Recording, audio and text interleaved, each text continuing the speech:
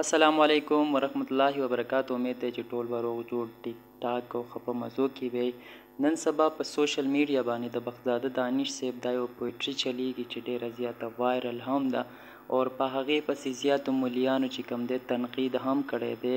څه علماء کرام وایي چې دی په دې الفاظو باندې کافر شوی دی څوک وایي چې نه دی دده نه یا غلطي شوې ده یا څه شوي دي خو زما په خیال بخت داده دانش صیب چی کومه شاعری کړی ده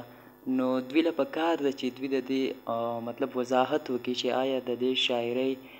تفصیل ددی تشریح وغیره هغه څنګه دی ځکه چی دوی یو پویټری کوی نو خامخا دوی به دهغی نه مخکی دهغی د تشریح دهغی د تفصیل خامخا څه سوچ کړی وی دهغی په بیس باندی به دوی خپل یو پویټري جوړئ نو نورې خبرې خو به وروسته کوو خو راځئ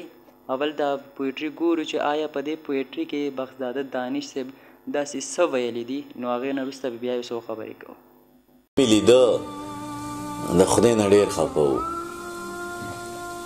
یو څو ړانده د خدای نه ډېر خفه وو.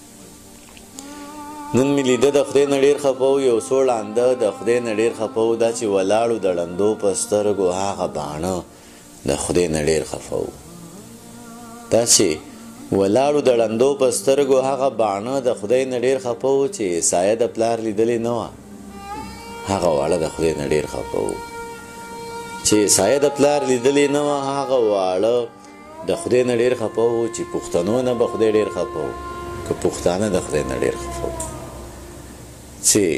پښتنو نه به خدای ډیر خفه وو که پښتانه د خدای نه ډیر خفه وو دانش خدای دی خفه کیږي نو خو زه او هغه د خدای نه ډیر خفه نشه صد خدای نه ډیر خوشاله دانش صد خدای نه ډیر خفه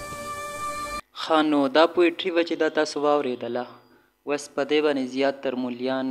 تنقید کړی دی چې بخزاده دانش صیب له داسې الفاظ نه وو په کار او زیات ور ته همدا هم ویلي دي چې بخزاده دانش صیب په دې الفاظو باندې چې کوم دی د ایمان نه خلاص شوی دی کافر شوی دی نو بیا زیات علما کرام په یو بل کې هم خبرې کړي دي چې آیا تاسو چې کوم خبره کوي چې بخزاده دانش صیب په دې الفاظو کافر شوی دی نو تاسو له دا نه دی په کار چې تاسو هغه ته کافر وایي خیر نور خو به مخکې پته لګي چې آیا دوی څه کوي خو د ټول نه اهم خبره چې کوم دا بختزاده دانش صاحب له دا پکار ده چې دوی زر تر زر خپل د دې شاعرۍ وضاحت وکي او که وضاحت د دې نه کوي آیا دوی په دې خبرو باندې وستومانه وي یا نور څه نو دوی له پکار دا دي چې دا ټولې مطلب انسانانو نه کم علماء کرامو پې چې تنقید کړی دی د هغې نه اور ټولو خلکو نه معافي وغواړی چې آیا بلکل زما نه دا غلطي شوې ده ما داسې شاعري جوړه کړې وه خو زما ذهن کار نه دی کړی یا څه یا څه خو زما مطلب